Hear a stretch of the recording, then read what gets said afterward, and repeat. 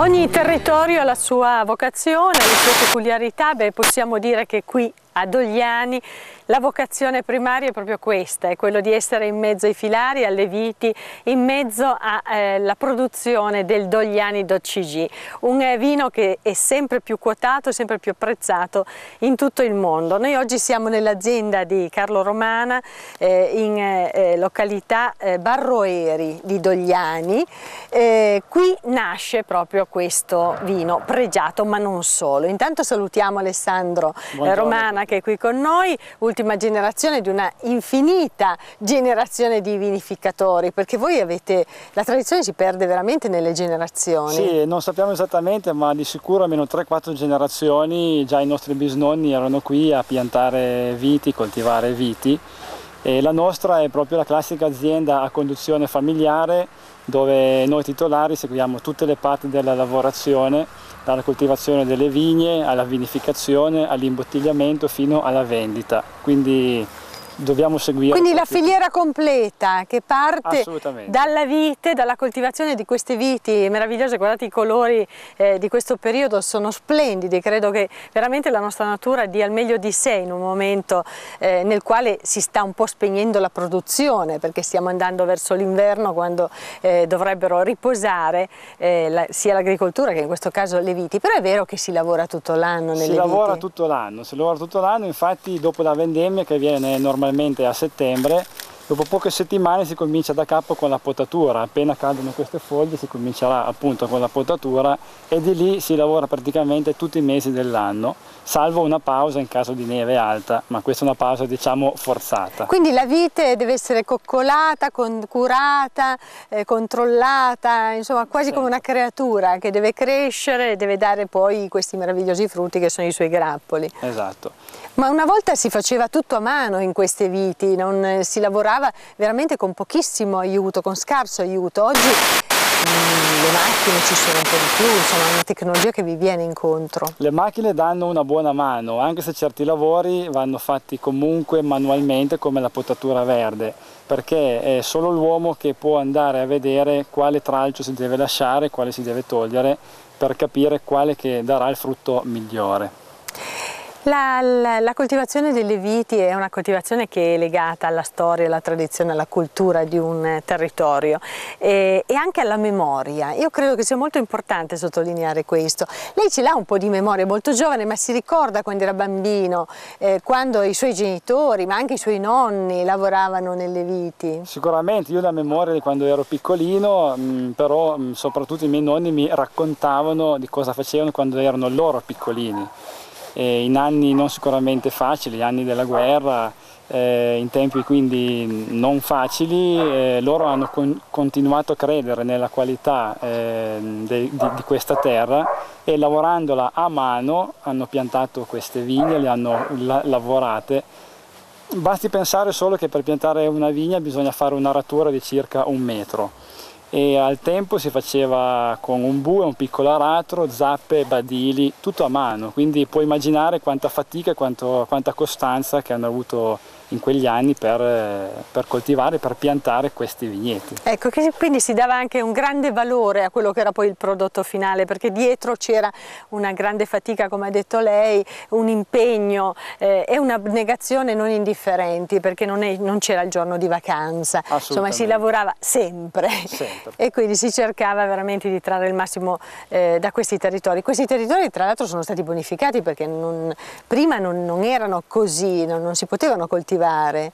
Avete tolto le piante, cioè avete, lei non di sicuro, sì. ma i suoi avi I sicuramente, avi sicuramente hanno creato molto, la, la, situazione molto favorevole. Gerbido, molto incolto, sicuramente si sono messi lì appunto con molta costanza, molto lavoro, tutto a mano, sottolineo ancora una volta, e hanno bonificato questi terreni facendo anche dei drenaggi per l'acqua per evitare le, le frane. Eh, quindi diciamo che la coltivazione del vigneto su queste colline ha anche un significato di salvaguardia idrogeologica del territorio comunque, oltre che di Ecco, c'è un aspetto ambientale importante, eh, perché in questo modo cioè, le colline coltivate si salvaguardano meglio e quindi esatto. si riesce a mantenere integro questo territorio, questo territorio che, permettetemi, con immagini come quelle che ho davanti eh, in questo momento eh, riempiono il cuore e ci dicono quanto sia bella la nostra provincia di Cuneo. Voi avete la fortuna di avere l'azienda che tutto tutto il giorno vi offre questo, gratuitamente vi offre questo panorama eh, che molti turisti ci invidiano e avremo modo adesso di parlare anche di vino e turismo, ma soprattutto io vorrei eh, fare questo percorso insieme ad Alessandro Romana, poi anche a sua mamma, di fare questo percorso del vino. Allora siamo qua, qua eh, si coltiva la vite, si raccoglie l'uva, poi cosa succede? succede. L'uva parte Esatto, nella vendemmia l'uva parte, va nella cantina per la vinificazione. E allora noi adesso andiamo a vedere la cantina. Esatto.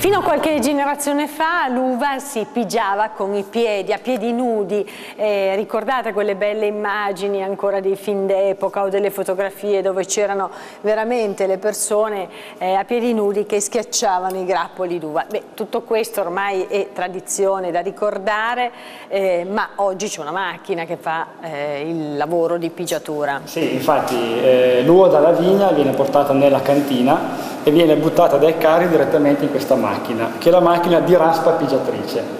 Questa macchina praticamente separa gli acidi dal raspo del grappolo, il raspo viene buttato a terra e verrà riportato in vigna come concimazione, mentre gli acidi schiacciati scendono in basso e mh, dopodiché verranno pompati nelle vasche di acciaio per la fermentazione, le vasche che abbiamo da Ecco, allora noi spostiamoci intanto Qui veramente c'è da respirare l'aroma del Dogliani, perché qui già è profumo, già c'è profumo di vino, vero Alessandro? Esatto, in questo periodo abbiamo già il vino nuovo dell'annata 2012, già fermentato, ancora chiaramente un vino grezzo, però già vino. E lo si sente infatti. Sì. allora, qui è già vino, esatto. poi che cosa succede? Allora, dopo la pigiatura, appunto, ehm, gli acidi vengono in queste vasche per la fermentazione, eh, la fermentazione dura circa 8-10 giorni, dopodiché eh, quando lo zucchero è diventato alcol, quindi abbiamo il vino, ancora grezzo ma già vino, il vino viene tirato via da queste saracinesche più piccole, dopodiché successivamente da queste botole più grandi vengono estratti gli acidi che sono ancora in crisi di, di vino per l'appunto. Questi acidi vengono ancora pressati per recuperare anche l'ultimo vino. Non sprechiamo nulla! No, non si spreca assolutamente nulla.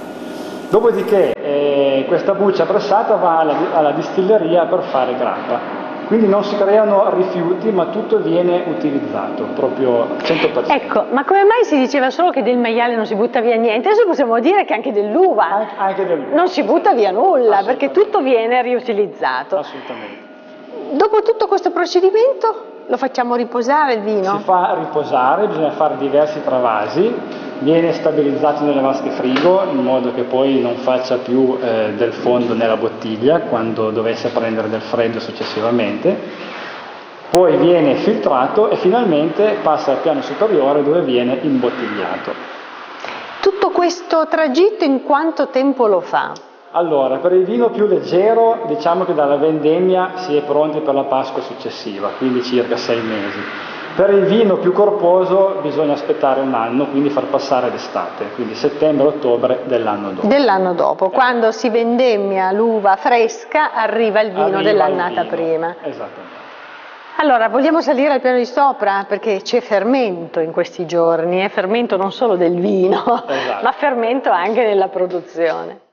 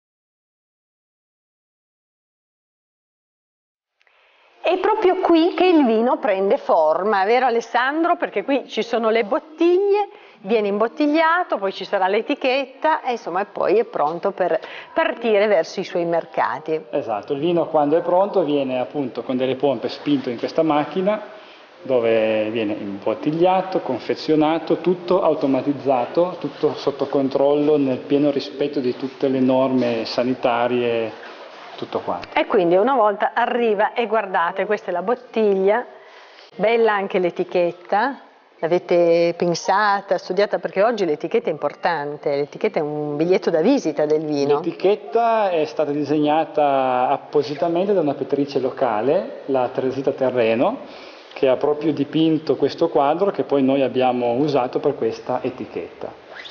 Pensate quanta storia e quanta tradizione c'è in una bottiglia di Dogliani d'OCG. Vogliamo saperne di più? C'è la signora Andreina che ha preparato delle notizie per noi.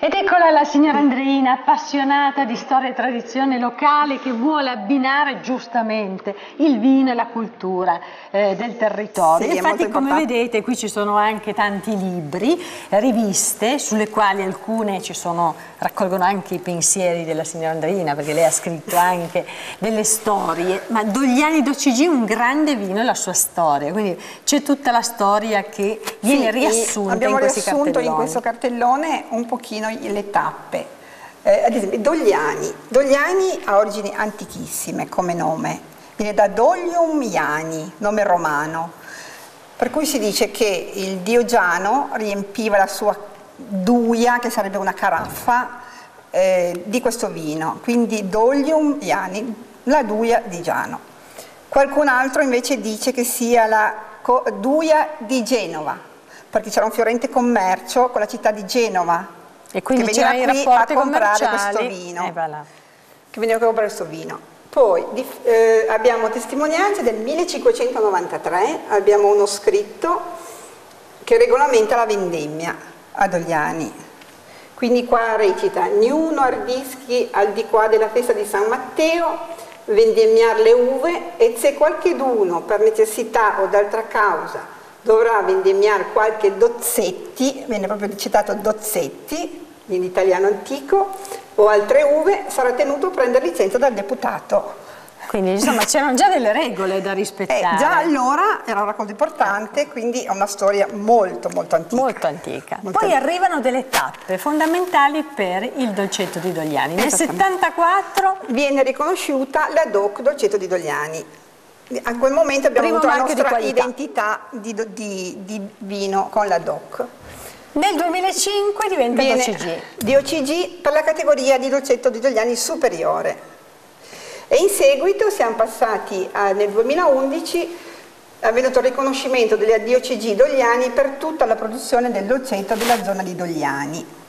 Ecco, vedete come nelle aziende agricole del nostro territorio si è cambiato l'approccio con il consumatore. Adesso non più soltanto la degustazione, ma anche la storia, lei la racconta ogni, ai visitatori. Ogni tanto sì. la racconto, sì. E infatti questi cartelli sono eh, abbastanza didattici, se vogliamo, no? spiegano. Sì. Qui ecco. ad esempio abbiamo una foto del 1930 dove c'è, avevamo fatto il carro della festa dell'uva, dove c'era già questa enorme bottiglia di dolcetto di Dogliani e qui eh, in questa foto c'è proprio la nonna che lei poi è stata anche lei qui e aveva 15 anni ed aveva fatto Una delle questo. donne del vino. Una delle donne di casa.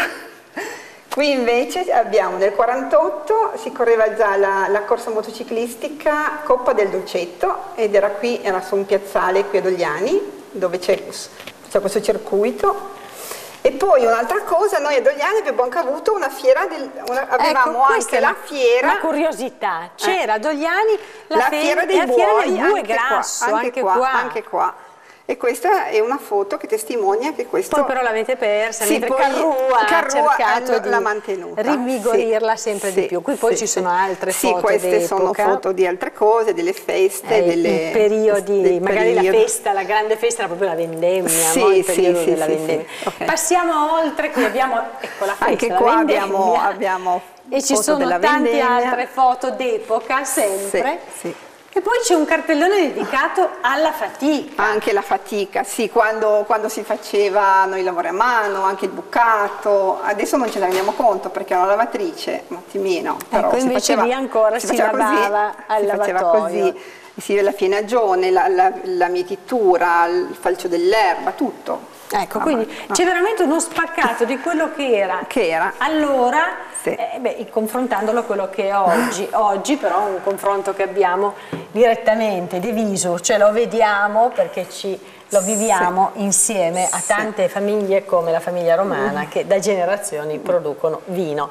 Abbiamo parlato di Dogliani di OCG, adesso però andiamo a vedere qual è la vera produzione, la totale produzione dei vini dell'azienda romana.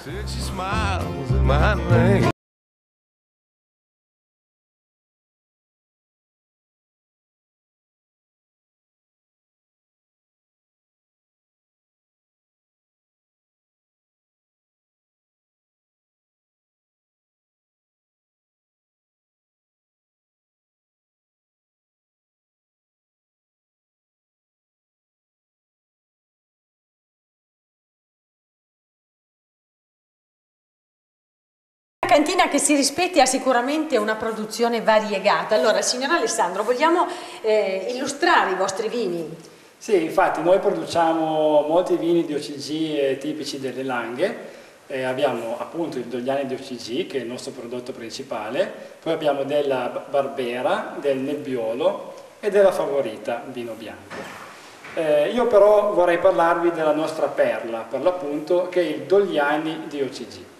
Ecco, allora questa è la produzione completa, ma noi vogliamo puntare proprio l'attenzione sul Dogliani d'OCG, un vino che parla del territorio anche nel suo nome. È vero signora Andreina? Certo. È, è una scelta anche promozionale quella di chiamarlo Dogliani. Sì, abbiamo voluto chiamarlo Dogliani proprio perché il dolcetto di queste zone ha una particolarità che non c'è da altre parti e quindi devi identificarsi al massimo col territorio. Ecco, quindi si qual è il prodotto migliore Dogliani. per promuovere un territorio, per promuovere Dogliani, un vino, un vino eccezionale come il Dogliani d'OCG.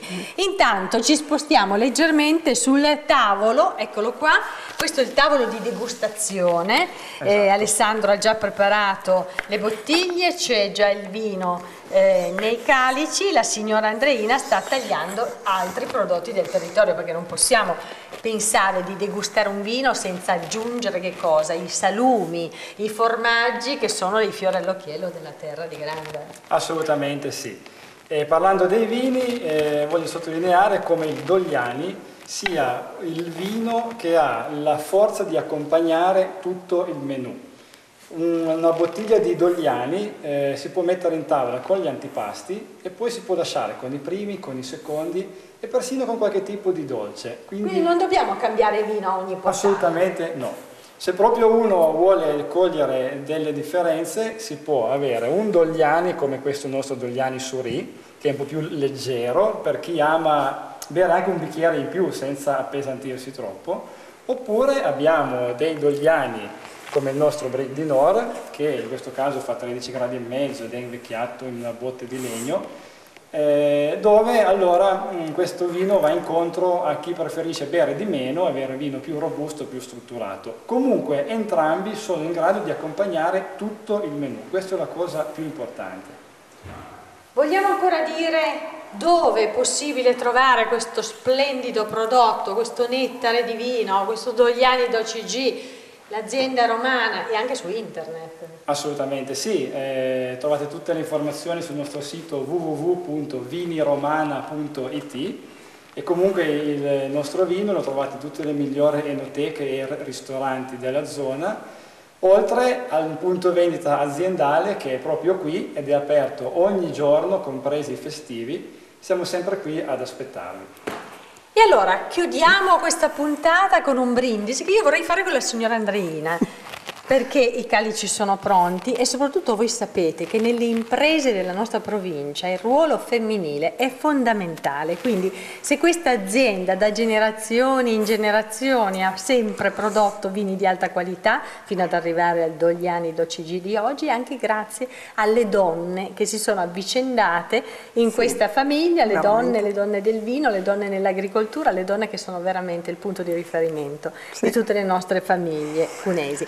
Quindi grazie signora Andreina, facciamo un brindisi. Vorrei ancora aggiungere che noi crediamo molto nelle potenzialità del nostro territorio e pensiamo che la, la promozione deve partire proprio da qui.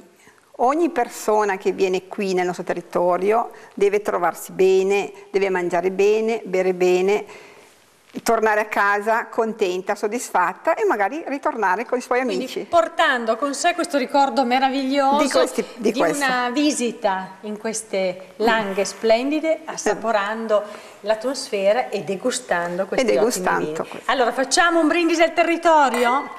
Buona fortuna Buona, al vostro grazie. vino e a tutta la langa. Grazie.